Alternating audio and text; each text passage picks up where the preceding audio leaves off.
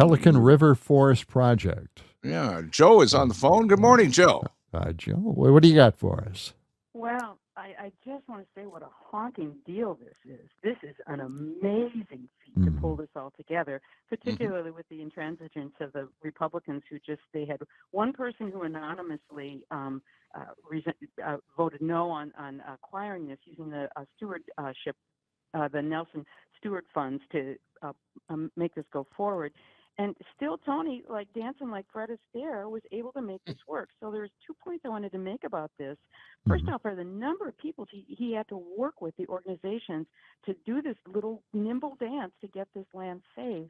And it was the Conservation Fund, the Richard King Mellon Foundation for a mm-hmm. bridging loan, individuals and foundations, uh, federal forest legacy programs from the Fish and National Fish and Wildlife, and even Walmart's Acres for America program. So wow. it's like all these wow. different people he had to work with.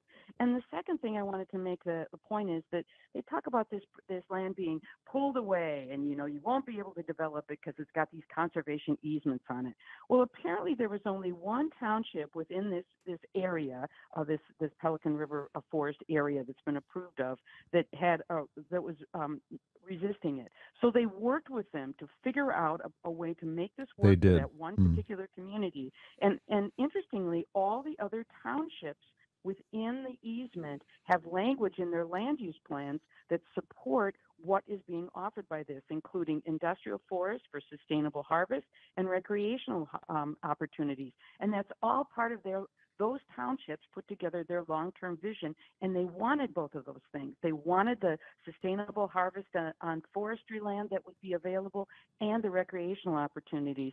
And the recreational opportunities are gigantic. I mean they, they are going to be hooking together these snowmobile trails and ATV trails, which aren't necessarily my thing, but boy, a lot of people up north really love them. And so mm-hmm. it's going to provide that recreation base that's going to be just great for people up there. So, you know, kudos to the guy for keeping it going, not giving up, and finding a way to make it work. And um, the net result is that those communities will, with those conservation easements as part of long term planning, will be just fine and is something that they wanted because they indicated that they wanted it in their long term planning.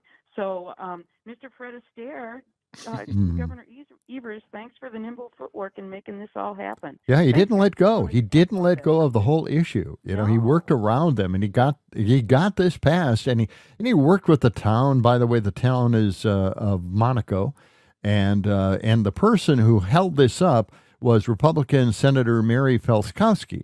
She held this thing up, and all she had to do was negotiate, uh, you know, an exception around this town in order to, you know, allow the town to grow. And that's all. Right. That's all Tony Evers ended up doing. it, it is just a fantastic deal. do some work.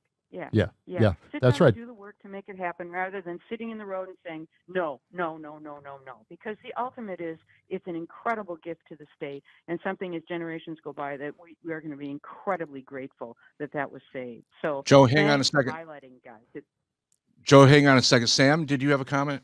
Oh, uh, yeah, I was just gonna jump in and say I uh, drove along Highway 45 and Highway 8 up there uh, pretty consistently for a couple of years, like every couple of weeks. It's a really beautiful area up there. Um, I've I've driven through this this town, Monico, and all the other towns along Highway 45. Um, they're not they're not big places. They're not going to be like developed in a crazy way. So right. I don't know what uh, what exactly this this representative was all worked up about, but surely uh, it being a a new conservation area with uh, snowmobile trails and other recreation uh, being opened up even more so than it already was is going to be a boon to these communities up north. Right, right. Mm-hmm. It'll create jobs, yeah, new businesses. Yes, it sounds like a fantastic there's, there's time. Money in recreation. Yeah. Yeah, there's money in tourism, there's money in recreation, and, and they should be able to take advantage of it, of it in a wonderful way and still have the forestry uh, business going forward, which is also huge for jobs. So um, kudos to Fred Astaire yeah. slash Governor Evers. I love it. All right. Well, maybe we should start calling him that. Thanks, yeah. Joe. Thanks for the call and he pointing that out. Some yeah. good tap dancing there. Yeah.